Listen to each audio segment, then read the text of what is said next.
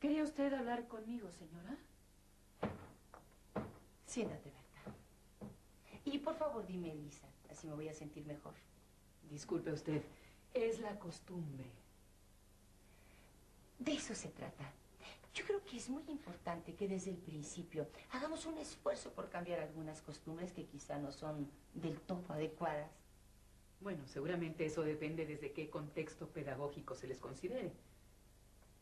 ¿Usted está de acuerdo con alguna escuela de pedagogía en particular? Ah, no, para nada. En realidad este es mi primer día de acercamiento a los problemas de la educación. Ah. ¿Sabes? Lo que quería decirte tiene más que ver con el sentido común que con otra cosa.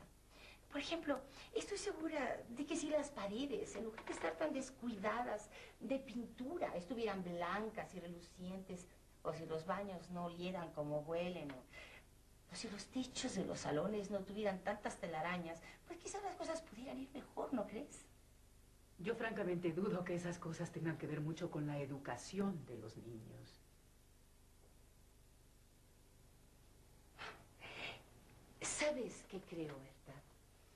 Que con todo lo que tú sabes en cuanto a las materias de instrucción, podemos hacer de esta una excelente escuela.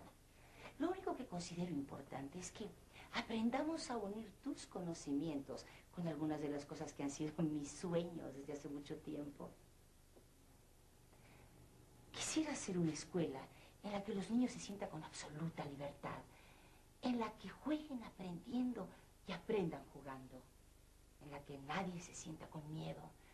Al contrario, ir logrando que nuestros estudiantes se den cuenta de que la responsabilidad de aprender es de no es una obligación fastidiosa, sino que puede ser un placer.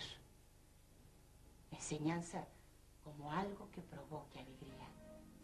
¿Te imaginas, Berta?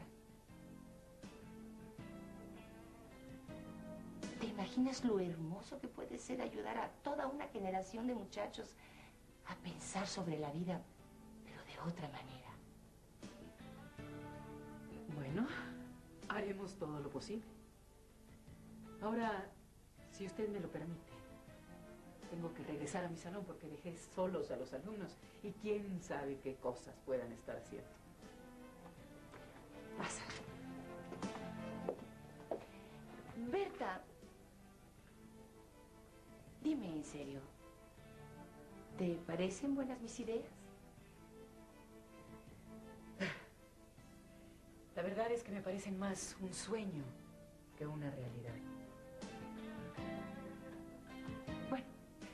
Luego seguiremos platicando.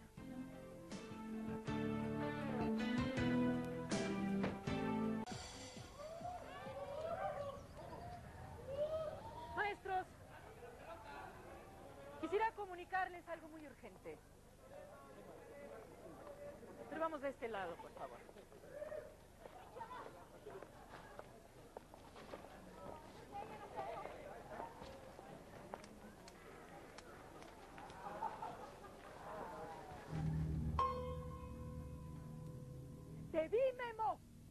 Esta vez te vi.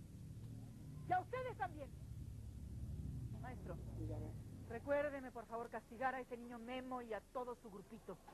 Hay que encerrarlos en el sótano por lo menos medio día. Sí, maestra. Como les iba diciendo a ustedes. Sucedió lo que yo me temía. Es necesario que nos preparemos para lo peor. Sí, maestra.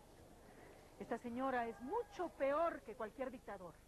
Y si nosotros se lo permitimos, es capaz de convertir a esta institución en una celda para asesinos, ladrones, drogadictos. Se nota que lo que menos le interesa es la educación. Además, lo más probable es que nos quiera correr a todos nosotros.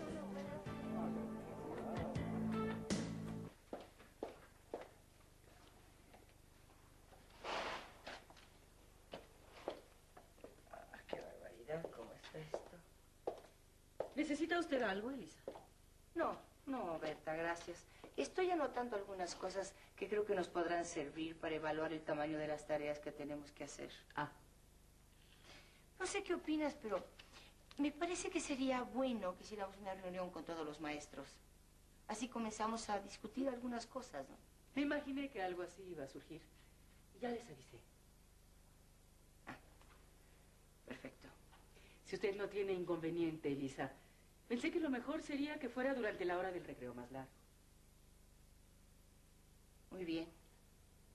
Gracias. Con permiso. Berta. Sí. No, nada. La próxima vez, por favor, pregúnteme antes. Por supuesto, Elisa. Disculpe usted.